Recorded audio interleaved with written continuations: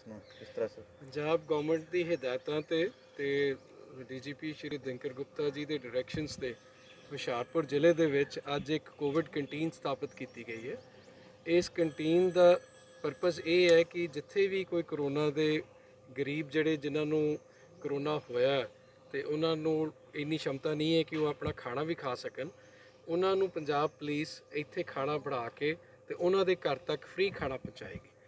ਇਹ ਸਰਕਾਰ ਦਾ ਤੇ ਡੀਜੀ ਸਰ ਦਾ ਇਹ ਹੁਕਮ ਹੈ ਕਿ ਕੋਈ ਵੀ ਬੰਦਾ ਜਾਂ ਇਨਸਾਨ ਜਿਹੜਾ ਗਰੀਬ ਹੈਗਾ ਉਸ ਨੂੰ ਇਹ ਨਾ ਹੋਵੇ ਕਿ ਉਹ ਖਾਣੇ ਤੋਂ ਵਰਜਿਤ ਰਵੇ। ਇਸ ਕਰਕੇ ਅਸੀਂ ਇਹ ਸਪੈਸ਼ਲ ਇੱਕ ਇੱਥੇ ਮੁਹਿੰਮ ਚਲਾਈ ਹੈ, ਜਿਸ ਦੇ ਵਿੱਚ ਤੁਸੀਂ ਦੇਖ ਰਹੇ ਹੋ ਕਿ ਅਸੀਂ ਸਮਾਨ ਸਮੂਨ ਲੈ ਕੇ ਤੇ ਕੁਝ ਕੁੱਕਸ ਹਾਇਰ ਕੀਤੇ ਨੇ, ਜਿਹੜੇ ਖਾਣਾ ਬਣਾਉਣਗੇ। ਖਾਣਾ ਬਹੁਤ ਹੀ ਵਧੀਆ ਸਾਫ਼ ਸੁਥਰਾ ਬਣੇਗਾ। ਐਂਡ ਫਿਰ ਜਿੱਥੇ ਵੀ ਲੋੜ ਹੈਗੀ ਹੈ ਡਿਸਟ੍ਰਿਕਟ ਦੇ ਵਿੱਚ ਉੱਥੇ ਉਹਨਾਂ ਨੂੰ ਉਹਨਾਂ ਦੇ ਘਰ ਤੱਕ ਪਹੁੰਚਾਇਆ ਜਾਏਗਾ। ਸਰ ਇਸ ਲਈ ਕੋਈ ਸਪੈਸ਼ਲ ਹੈਲਪਲਾਈਨ ਨੰਬਰ ਵੀ ਜਾਰੀ ਕੀਤਾ ਜਿਸ ਨਾਲ ਹੈਲਪਲਾਈਨ ਨੰਬਰ ਸਾਡਾ 112 ਆਲਰੇਡੀ ਹੈਗਾ। ਇਹ ਕੱਲ ਵੀ ਅਸੀਂ ਐਡਵਰਟਾਈਜ਼ ਕੀਤਾ ਸੀ ਬਟ ਤੁਹਾਡੇ ਪਲੇਟਫਾਰਮ ਤੋਂ ਤੁਸੀਂ ਇਹ ਵਧੀਆ ਸਵਾਲ ਪੁੱਛਿਆ। 112 ਤੇ ਕੋਈ ਵੀ ਜਿਹੜਾ ਕਾਲ ਕਰੇਗਾ ਉਹ ਕਾਲ ਸਾਡੇ ਕੋਲ ਆ ਜਾਏਗੀ। ਜਿਸ ਦੇ ਅਸੀਂ ਇੱਥੇ ਨੋਡਲ ਅਫਸਰ ਦੋ ਲਾਏ ਹੋਏ ਨੇ ਡੀਐਸਪੀ ਜਸਪ੍ਰੀਤ ਤੇ ਸਾਡੇ ਡੀਐਸਪੀ ਮਾਧਵੀ। ਇਹ ਸਾਰੀ ਚੀਜ਼ ਦੀ ਦੇਖਰੇਖ ਕਰ ਰਹੇ ਨੇ ਸਾਡੇ ਐਸਪੀ ਡੀ ਰਵਿੰਦਰਪਾਲ ਜੀ।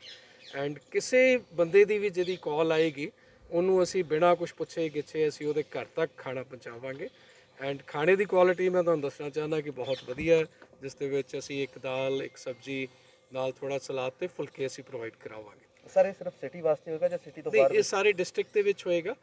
ਮੈਨੂੰ ਤੁਹਾਨੂੰ ਤੁਹਾਡਾ ਮੈਂ ਸ਼ੇਅਰ ਕਰਨਾ ਚਾਹੁੰਦਾ ਕਿ ਅੱਜ ਸਵੇਰੇ ਸਾਨੂੰ ਇੱਕ ਟਾਂਡੇ ਤੋਂ ਕਾਲ ਆਈ ਸੀਗੀ।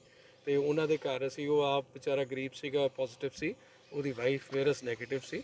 ਬਟ ਅਸੀਂ ਇੱਥੋਂ ਟਾਈ ਅਪ ਕਰਕੇ ਫਿਰ ਉੱਥੇ ਖਾਣਾ ਪਹੁੰਚਾਇਆ ਇੱਥੋਂ ਅਸੀਂ ਸ਼ਹਿਰ ਵਾਲਿਆਂ ਨੂੰ ਖਾਣਾ ਦਵਾਂਗੇ ਲਾਗਲੇ ਪਿੰਡਾਂ ਵਾਲਿਆਂ ਨੂੰ ਵੀ ਅਸੀਂ ਪ੍ਰੋਵਾਈਡ ਕਰਾਂਗੇ ਤੇ ਬਾਕੀ ਅਸੀਂ ਸਬ ਡਿਵੀਜ਼ਨਸ ਤੇ ਵੀ ਆਪਣਾ ਸੈਟਅਪ ਕਰ ਲਿਆ ਜਿੱਥੇ ਲੋੜ ਹੋਏਗੀ ਜੇ ਮਕੇਰੀਆਂ ਤੋਂ ਕਿਉਂਕਿ ਇੱਥੋਂ ਜਾਣਾ ਸੌਖਾ ਨਹੀਂ ਰਹੇਗਾ ਗੜਸ਼ੰਕਰ ਇੱਥੋਂ ਭੇਜਣਾ ਮੁਮਕਿਨ ਨਹੀਂ ਰਹੇਗਾ ਤੇ ਉੱਥੇ ਲੋਕਲ ਡੀਐਸਪੀਸ ਨਾਲ ਸਾਡਾ ਟਾਈ ਅਪ ਹੋ ਗਿਆ ਜਿੱਥੇ ਜਿੱਥੇ ਵੀ ਲੋੜ ਹੋਏਗੀ ਖਾਣਾ ਪਹੁੰਚਾਇਆ ਸਰ ਕਿੰਨੇ ਕੁ ਬੰਦਿਆਂ ਦਾ ਰੋਜ਼ ਖਾਣਾ ਜਾਏਗਾ ਇੱਥੇ? ਆਈਡੀਆ ਅਸੀਂ ਜਿੰਨੇ ਵੀ ਹੁਣ ਅ, ਤੁਹਾਡੇ ਸਾਹਮਣੇ ਤੁਸੀਂ ਵੇਖਿਆ ਹੋਣਾ ਕਿ ਤਕਰੀਬਨ ਰਾਈਟ ਨਾਓ 3000 ਬੰਦਾ ਸਾਡੇ ਜ਼ਿਲ੍ਹੇ ਦੇ ਵਿੱਚ ਪੋਜ਼ਿਟਿਵ ਹੈ।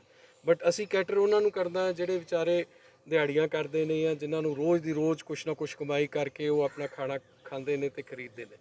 ਤੇ ਅਸੀਂ ਉਤਾਂ ਦੇ ਅ, ਜਿਹੜੇ ਗਰੀਬ ਜਨਤਾ ਹੈ, ਉਹਨਾਂ ਨੂੰ ਕੈਟਰ ਕਰਾਂਗੇ। ਤੇ ਅਸੀਂ ਅਕੋਰਡਿੰਗ ਟੂ ਡਿਮਾਂਡ ਜਿੱਦਾਂ ਅੱਜ ਤੁਸੀਂ ਦੇਖਿਆ ਅਸੀਂ ਤਕਰੀਬਨ 50 ਤੋਂ 100 ਬੰਦੇ ਦਾ ਖਾਣਾ ਤਿਆਰ ਕਰ ਰਹੇ ਜੇ ਵਧੇਗਾ ਤੇ ਅਸੀਂ ਉਸ ਹਿਸਾਬ ਨਾਲ ਇਸ ਚੀਜ਼ ਨੂੰ ਵਧਾਵਾਂਗੇ ਤੇ ਜੇ ਡਿਮਾਂਡ ਘੱਟ ਹੋਏਗੀ, ਫਿਰ ਅਸੀਂ ਉਸ ਹਿਸਾਬ ਨਾਲ ਖਾਣਾ ਉਹਨੇ ਉਹਦੇ ਹਿਸਾਬ ਨਾਲ ਬਣਾਵਾਂਗੇ।